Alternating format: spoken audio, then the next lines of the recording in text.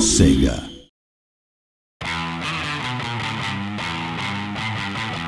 Teamwork can make a dream work. Sounds cute, but trust me, there's nothing cute about any of this. You're looking at four of the most lethal men the Yakuza network has ever encountered. Here's Shun Akiyama, the businessman with a twist and a kick. This loan shark has lightning-fast moves, guaranteed to put the biggest big shot out of business and into an early grave.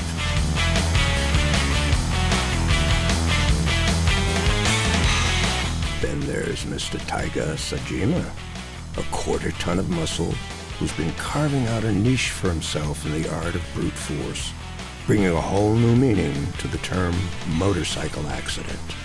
Beautiful.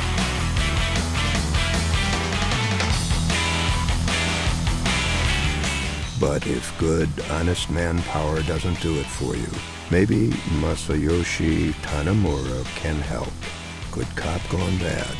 Martial arts expert and innovator, he combines jujitsu and aikido with frightening efficiency. One punch from this guy, and you'll be serving life wearing diapers and eating through a straw. So no matter what he tells you, do not drop your weapon.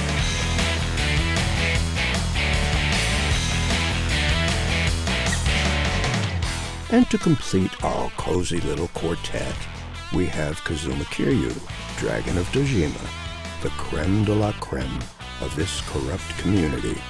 Once reformed, but for now, reborn back into the Yakuza with the same legendary combat skills others would give their right arm for.